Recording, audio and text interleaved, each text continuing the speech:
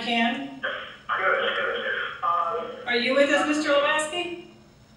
yes, he's on the line. Okay. Um.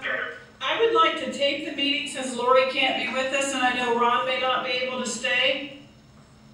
Does it, Lori, Edwards, the president of SS, FSASE, so for what purpose do you want to record this conversation? so that Lori can be familiar with what's going on since I I'm have, not, I'm not comfortable with that. If she wants to be on the call, she can get on the call. She's not available. Yeah, Ron, Ron as her legal representative can brief her, but, but I don't think that's necessary, Kimberle. I'm calling you as a courtesy, You requested me to call, and for what purpose of, of some kind of transcript or, or recording. Ron, what's your view of that? Are you comfortable you can, you can brief your president?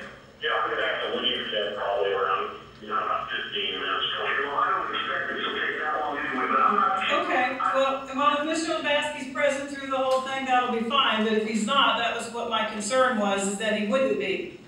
Yeah, no, let- let's, let's just have an informal conversation. and- Okay. so I'm calling you at your request. Okay, And, and, and obviously, we all are attentive and have been developing down there, and so what is it that you wanted to talk about this morning, and in what way can we help?